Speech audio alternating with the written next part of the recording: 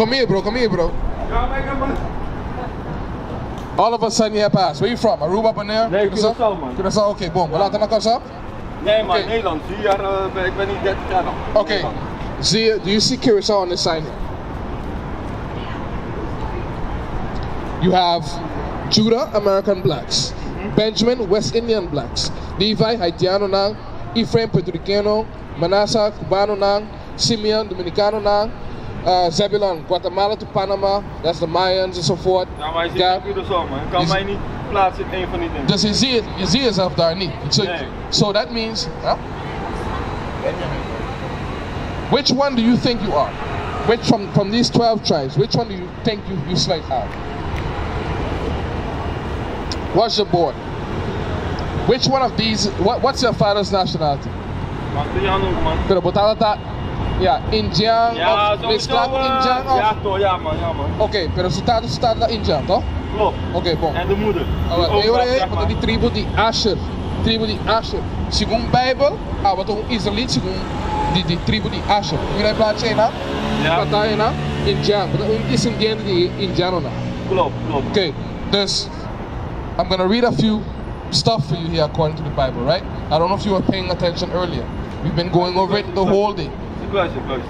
I want you to come here and look at these two boys.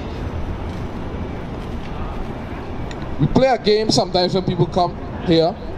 You ever play baseball? This is like biblical baseball. When people come here, sometimes we play this game with them. Each one of these characters here have three strikes. All right? They have three strikes. You know, when you make a third strike, you're out. Oh, ja man. Good. So you understand the rules of baseball. We're gonna give each of them a swing. We're gonna start with describing them. I'm gonna ask you first. Which one of these two here is Jesus Christ? Which one of the two of them? Die man. That one. Nee, oh, bedoel je? Ja? Wat, wat ze Yeah. nah, which which one of them do you think? Which one do you think is Jesus Christ? I think. Yes. Om eerlijk te zijn broer, Mhm. Because they told they told us sometimes. ah, ah, ik geloof niet in, eh in afbeeldingen. So you don't believe in pictures, right? Nee man. Okay. So let's show you. ding, hè? Eh? Let's, you don't have to believe in this, right? This is just a board. You don't have to believe in, in any of it's just a mm. board. Mm. But this is we're gonna give you the true description of Christ according to the Bible. Why? Because with this image, because with this image here, with these images, is gonna determine what the nations, uh, what us as a nation is gonna think. And the Bible says, John 7:38. The Bible says, "You shall know the truth, and the truth will make you free." You have to know what your father looks like. You have to, if, for example, you have a child, right? Mm-hmm. Imagine if I took a picture of a, I don't know. Imagine if I gave your child a picture of that guy right there. The guy is right behind you. And I said to your child, that's your father. How do you think that child would feel looking at the picture of that guy and realizing he does not look like that guy right Ja, there? ja, ja, You understand what I'm saying? Ja, ja, toch, ja, toch. So the Bible says this, read. This the book of John, chapter 7, verse 38. Uh huh. He that believeth on me, as the scriptures had said, Uh huh. out, out of his belly shall flow rivers of living water. So the Bible says, He that believeth on me, as the scripture has said. You have to believe on the Bible as the scripture has said. Alright? John 8, verse 32. Hold on. John 8, verse 32. You have to believe on the Bible, on, on Christ, as the scripture said. Hold that thought. This is the book of John, chapter 8, verse 32. Uh huh. And ye shall know the truth, Uh huh. and the truth shall make you free. From what? Mental slavery. It will make you free from mental slavery because they told us in church, you don't gotta believe in pictures and images because that it's not nergens op. It's not important. Let's find out why they told you that. Revelation 1 and verse 13. This the book of Revelation, chapter 1 and verse 13. Remember, we're still playing biblical baseball. Read. And in the midst of the seven candlesticks, Uh huh. one like unto the Son of Man, Yeah. clothed with a garment down to the foot, and a girt about the paps Read. with a golden girdle. Yep. Verse 14. His head and his hair were white like wool. So the Bible says the true image of Christ, right? His head and his hairs were white. Matter of fact, it says his head and his hairs were white like wool. which one of those two pictures there's head his head and his hairs white like wool? Which one of those two guys? So what's that? Strike one for who? This guy. Pegay Makamba. Ja, sowieso toch. Strike one. His head and his hairs were white like wool. So he had white, woolly hair according to the Bible. Read. as white as snow, As white as snow. So his hair was very white. Read. and his eyes were as a flame of fire. So his eyes was as a flame of fire. According to Genesis 49 verse 12, Jesus drank wine a lot in moderation. So that's why his eyes turn red. You know, you ever been to an Antillean party? Ja, ja, ja. You know when we drink a lot, our eyes get, get ja, red. All right, ja, read. Ja, ja. and his feet like unto fine brass. So before we move on, strike two has already passed, but the eyes there for this guy. So that's strike two for this guy. This guy ain't got a strike yet, No. but this one does. Read. and his feet like unto fine brass. So the color of your hands and feet are they not the same color? Onderkant naar boven bedoel je? No, but the, the color of your hands and your feet is the same color, right? Toch? So the Bible says his feet like unto fine brass. What kleur is dit? Koperachtige kleur. Koperachtig, maar wat is een koperachtige kleur? Ja, dat is niet echt een kleur, man. Oké, een kijk, kijk, ik ga, ik, ga het, ik ga het makkelijker voor jou maken. Okay, ja, toch. this, so you see that it's brown. It's a derivative of brown. It's in the family of brown. Read. As if they burn in a furnace. As if it burned in a furnace. So it's already dark. If I take your white shirt or your pink clothing, sorry. Or let me say, if I take your white Air Force Ones and I burn them, what color are they gonna become? Zwart? Okay, so if I take bronze and I burn it, what color is it, is it gonna become? Zwart? So what does the Bible saying Christ is? Black. Okay, that's strike two for this devil right here. You see that right there? They lied to us in the churches. They told us that color is not important. That's why when you came, you said, ik geloof niet in afbeelden. But today you understand that your father looks like you. You look like your father, all right?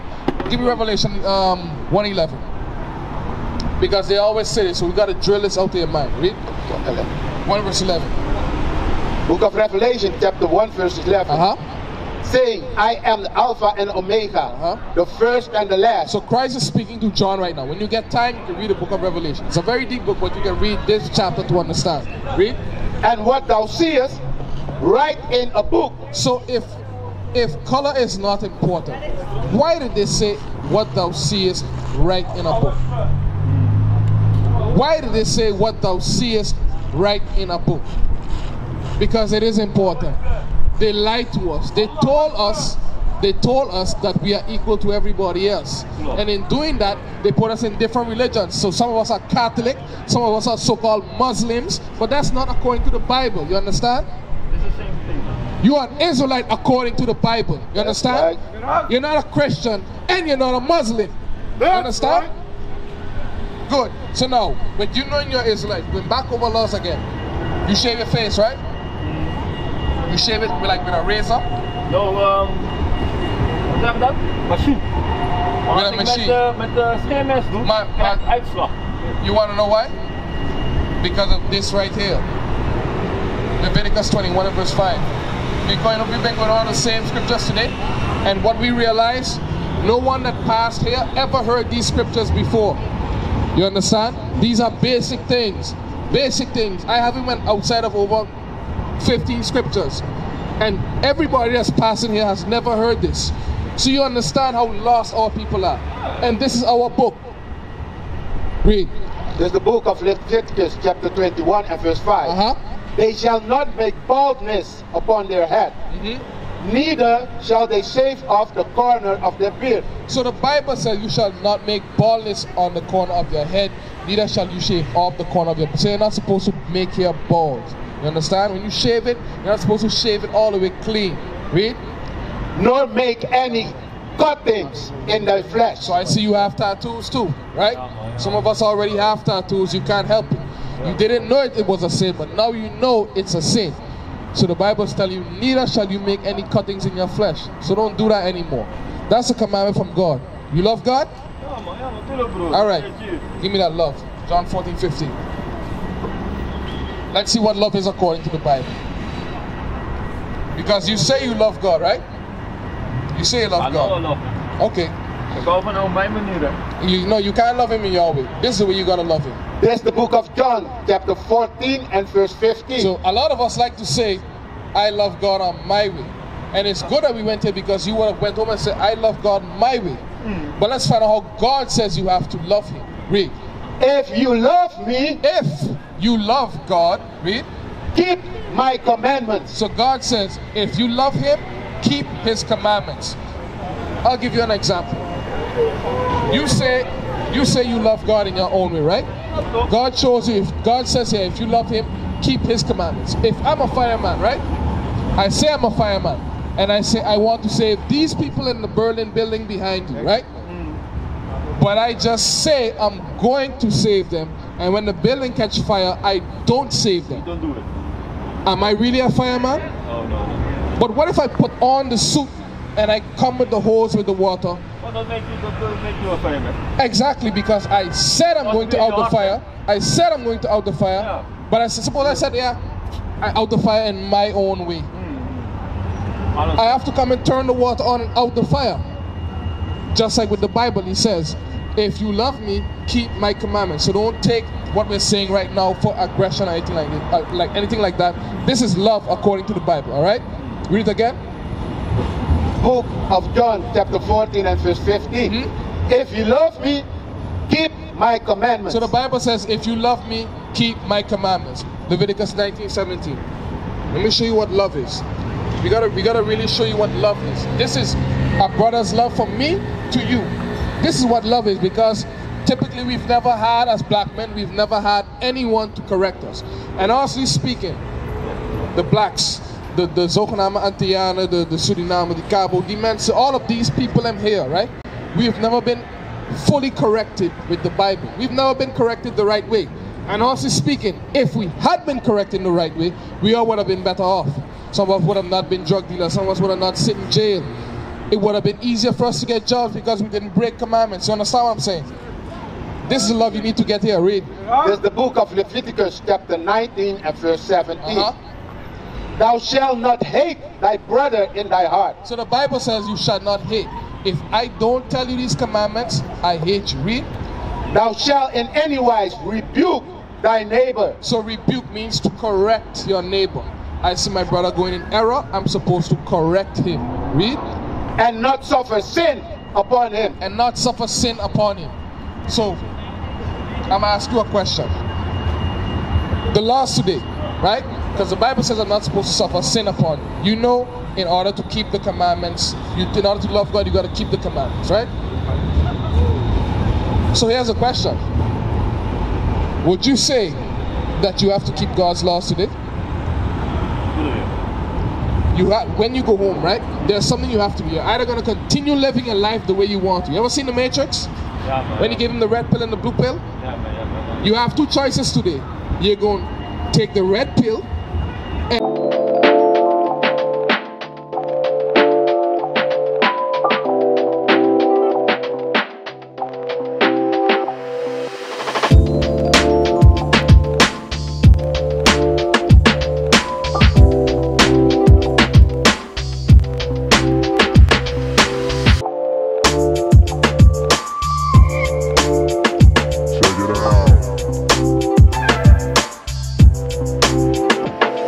club was that at? admit that uh, a lot of people don't even realize they. I've called her. She hasn't responded. I've called her more than a few times. with the Zulu Nation. I'm like, what the hell is this? I know nobody know what I'm talking about. You'll leave me on the island by myself. I don't know what the hell Bishop's talking about. Mm. That's what y'all do. Then after class, yeah, I knew what you were talking about. I just don't want to be caught out there. The hell is this? Get on my damn nerves. So read that again. 31.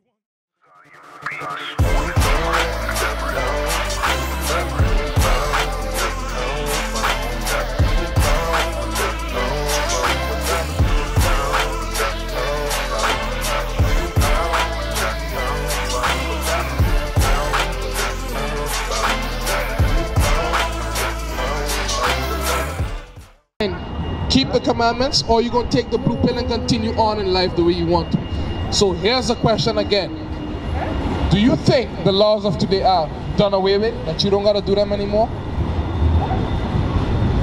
Okay, let me ask you another way. You think a sinner gonna make it to heaven? Someone that's sinning willfully, intentionally?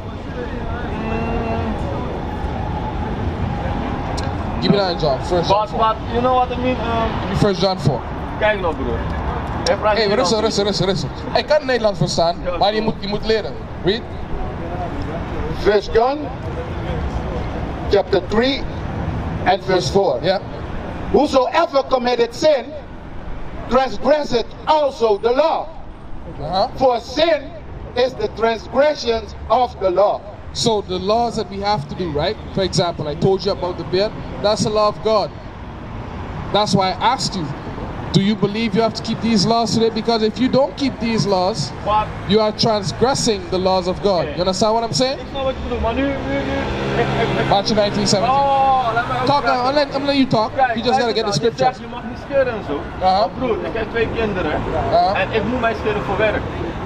Dus jij wil mij zeggen, ik moet No, but the way de you vrouw have- van mijn kind de mond weghalen om door No, niet no, te no, no, no. You have to use wisdom. Ik scheer met een For ring. example, for example, you keep your beard like that, right?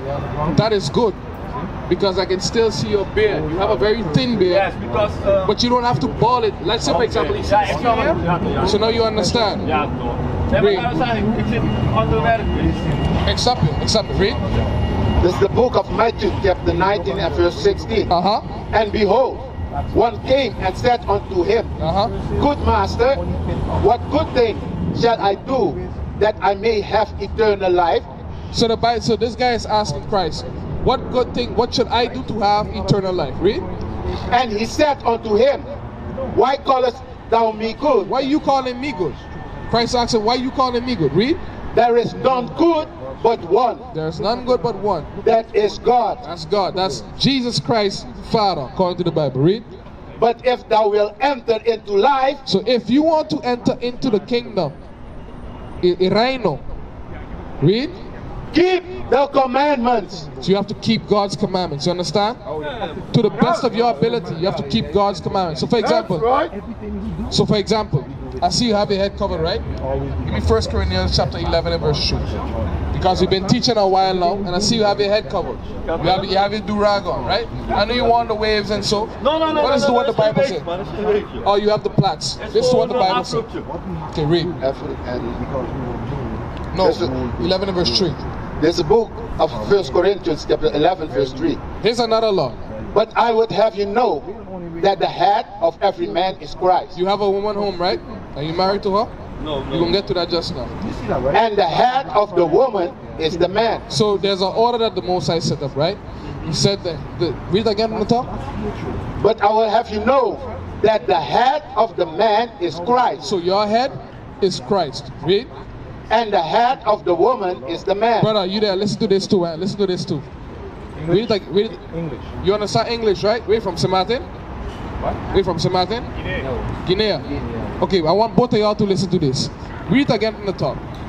But I would have you know that the head of every man is Christ, So the Bible says the head of every man is Christ. You look around, you see all of us here, our head is Christ. Read.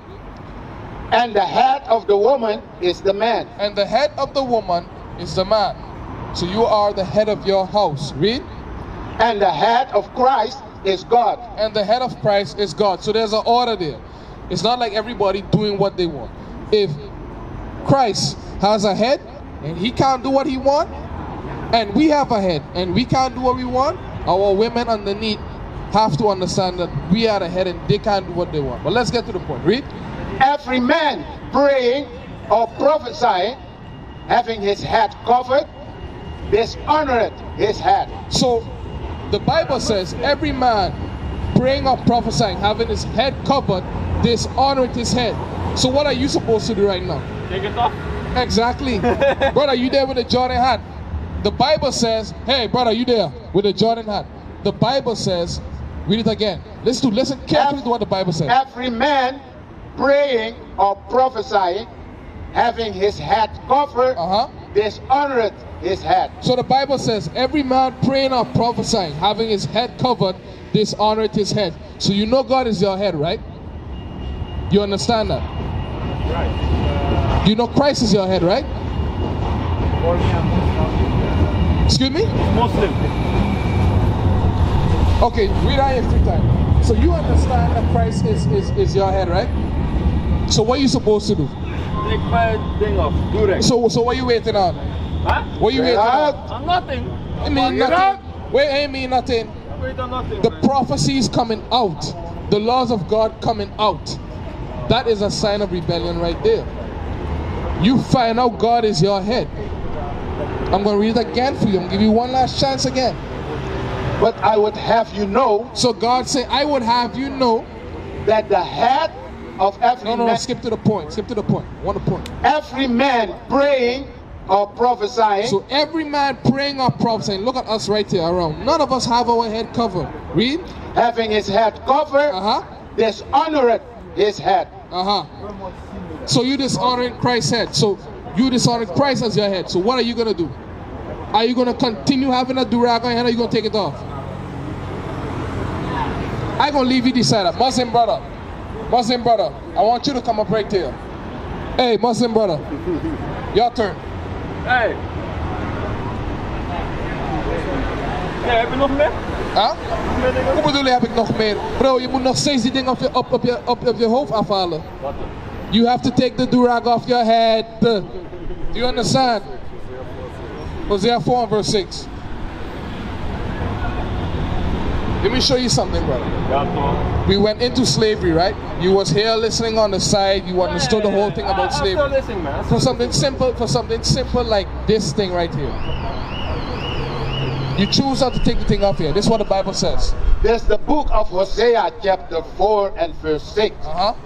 My people are destroyed for lack of knowledge. Give me Malachi 2 7. Hold it. So the Bible says, My people are destroyed for lack of knowledge. Right?